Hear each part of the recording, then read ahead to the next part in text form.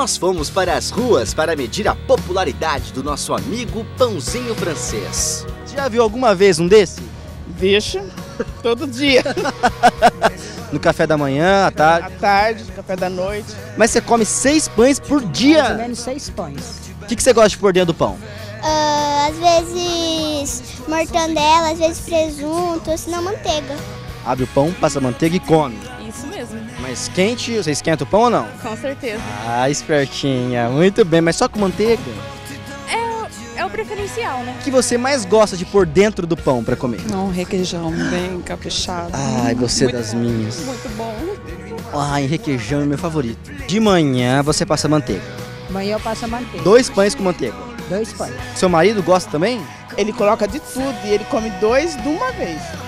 Mentira. Verdade, com presunto, mussarela e queijo. Mas você faz o patê de atum e coloca no pão. Eu mesmo faço e coloco no pão. Poxa vida, hein? Na sua casa as pessoas passam bem. Olha, como eu acabei de almoçar, eu vou tomar café lá por umas 5 horas, 5 minutos. Cinco horas. Deixa o endereço ali que a gente vai lá comer. Ah! Mes erreurs, mes douleurs, mes pudeurs, mes regrets, mais pourquoi faire Acontece que no início do século XX, os brasileiros que viajavam para Paris voltavam de lá e descreviam para os padeiros daqui como era o pão feito na França. Só que os padeiros daqui não tinham este conhecimento, não tinham como acessar o Google e nem os mesmos ingredientes que os padeiros de lá para fazer o verdadeiro pão francês, que era mais parecido assim com uma baguete, só que menor.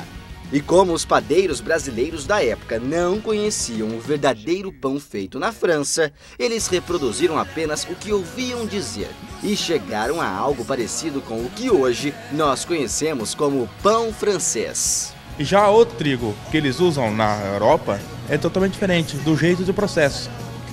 Então aí que é um pão mais pobre e o nosso pão é um pão mais rico, bem mais rico que os pães europeus. Segundo o Everton, que é um especialista no assunto, o pão francês, que na verdade é pão brasileiro, é reconhecido como o melhor pão do mundo. Pão brasileiro é o melhor pão do mundo. É o melhor pão do mundo, É me- melhor que o francês. melhor que o pão francês. Inclusive os estrangeiros vêm tentar copiar a nossa receita do nosso pão francês, que é brasileiro.